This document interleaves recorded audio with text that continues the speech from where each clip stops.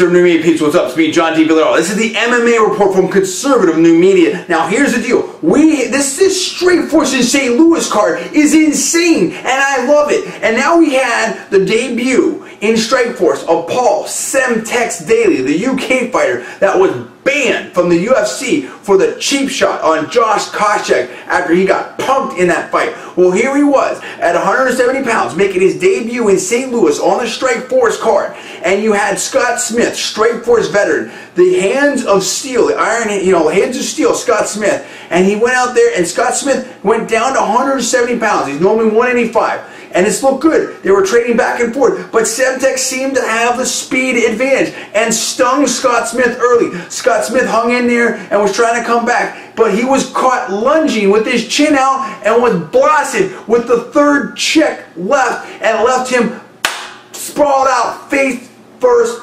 cold, out cold on the canvas.